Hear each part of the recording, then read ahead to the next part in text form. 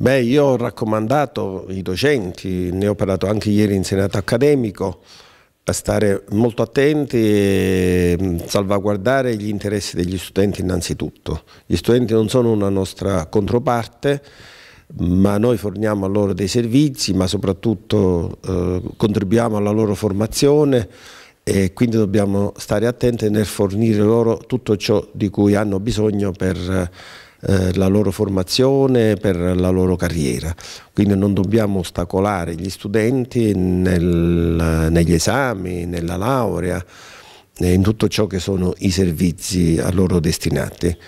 Eh, la protesta è sacrosanta, ognuno ha il diritto di manifestare contro leggi che ritiene non siano giuste o che intaccano i propri diritti.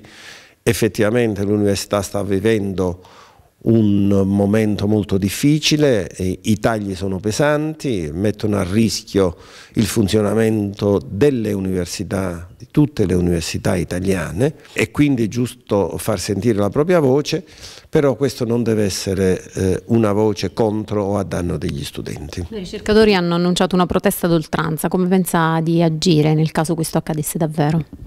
Beh, io penso che eh, ci siano dei profili anche di legittimità. È necessario che si facciano gli esami, non si può interrompere un servizio pubblico. Su questo io ho già avvisato i presidi, ho avvisato anche i docenti, quindi i diritti degli studenti non saranno lesi.